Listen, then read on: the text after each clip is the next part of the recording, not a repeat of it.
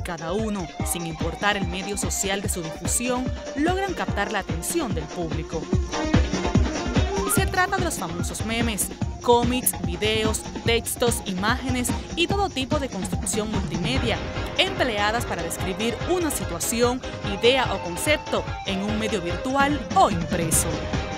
El recurso que se utiliza con esto es tú aprovechar eh, una situación y, que, y sacarle el provecho jocoso. Entonces es saber buscar la imagen correcta y, e impactar con una frase que vaya adecuado a la situación que se quiera ridiculizar.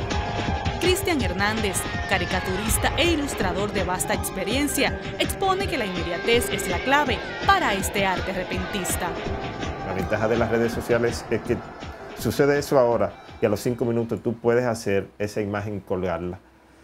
Y por más que tarde, ya en, en 12 horas, el impacto ha sido que no es lo mismo cuando es impreso. Por eso que lo básico de esto es eh, el hecho de tú tener un buen concepto de lo que quieres llevar y que cale. Tal es el impacto de los memes que en la concluida campaña electoral alcanzaron gran notoriedad. Era más que evidente su diversificación en las redes sociales. El desarrollo de los medios eh, de comunicación variado a través de las redes ha ido creando una, unas nuevas modalidades de comunicación que abarcan muchos componentes. Tuve eh, desde el manejo de las imágenes hasta los lenguajes y las temáticas eh, de la vida cotidiana. Y entonces eso ha ido eh, necesariamente teniendo cada día una mayor influencia, sobre todo de carácter generacional. El sociólogo Antinoe Fiallo Villini explica el porqué del impacto de este fenómeno social que se ha popularizado en los últimos 10 años. Es interesante ver cómo cada persona y cada grupo de personas va desarrollando su cotidianidad, cómo va llenando los momentos de su vida y cómo los momentos de la vida son eh, eh, expresiones y urgencias que se quieren, que se quieren llenar. Y entonces todo eso eh, en la cotidianidad de la gente va empujando diversos tipos de modalidades para sentirse como satisfecho con lo que se está haciendo, pero además de eso, tratando de provocar reacciones en los demás. Durante la recién concluida contienda electoral, reinó una amplia difusión de todo tipo de memes, los usuarios de las redes en forma jocosa e inclusive burlona externaron sus opiniones respecto a candidatos y figuras destacadas en el referido proceso.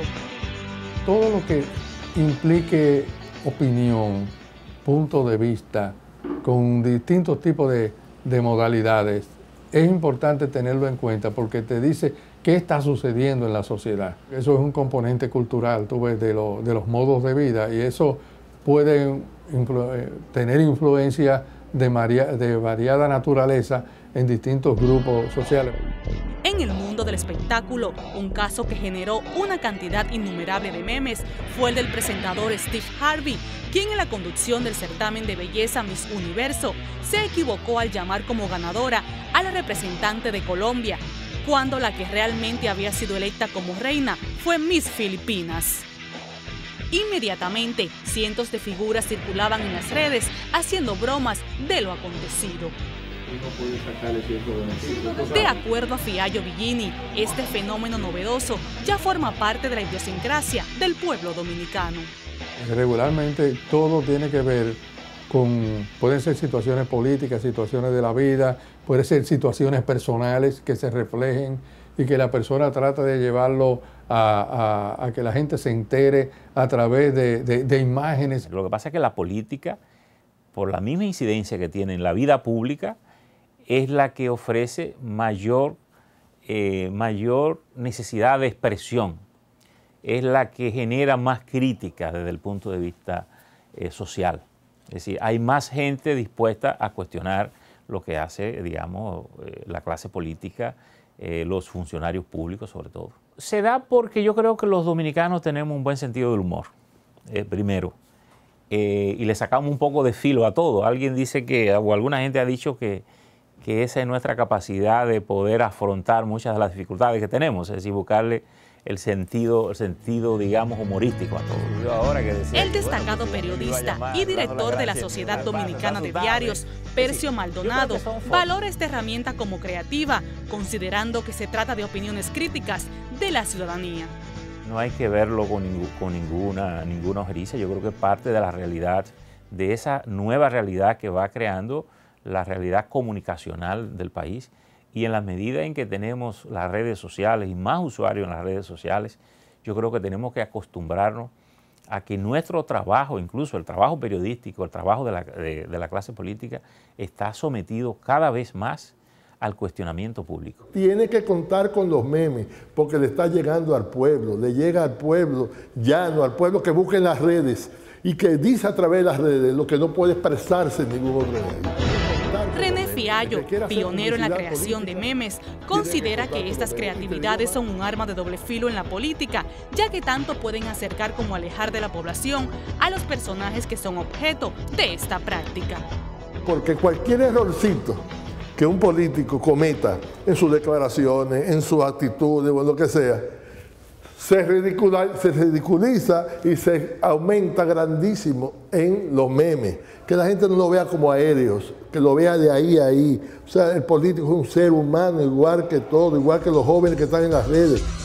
Memes dominicanos son una voz ilustrativa de la realidad que se alza desde hace cinco años a través de su cuenta de Facebook, como lo expresa Ismael Mejía, su creador.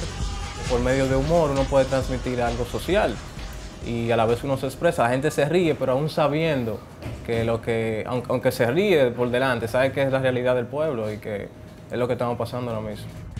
Aquí figuran memes de todo tipo de contenido. El fin de nosotros es, es crear conciencia. Ya a un punto que llegamos y dijimos, pero podemos llevar un buen mensaje por medio de ya sea dibujos animados, hasta por eso, ese simple hecho y un simple texto la gente como que capta el mensaje y dice, es verdad, y comienza a comentar. Usualmente algo social que esté pasando en el país, una noticia que esté ahora mismo pasando y hacer la que todo el mundo lo sepa, y por ahí se va.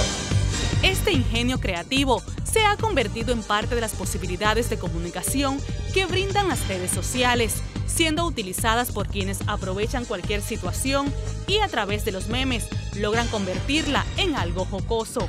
Se tendrá que esperar cuál será el destino a seguir de estas creaciones y el impacto que tendrían en las futuras generaciones de la población dominicana.